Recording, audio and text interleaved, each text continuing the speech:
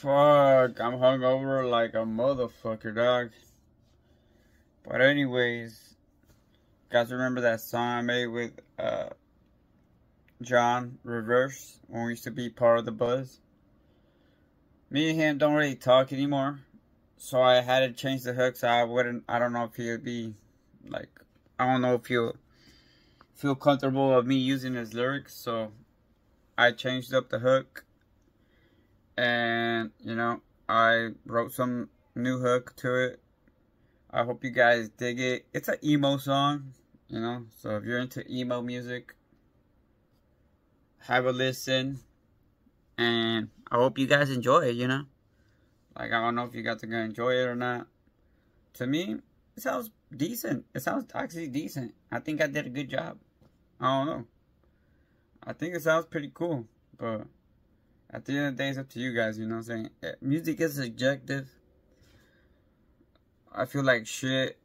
I need to get hydrated. And, uh, I need to get back to work. I don't know when I'm going to stream again. But, it may take like a week off. And if I don't take a week off, it's just going to be a 30 minute stream just to like talk to y'all and that's it. But other than that, man, I hope you guys are doing well. Tomorrow is Columbus Day. I don't even know what the fuck that means. What? What's Columbus Day?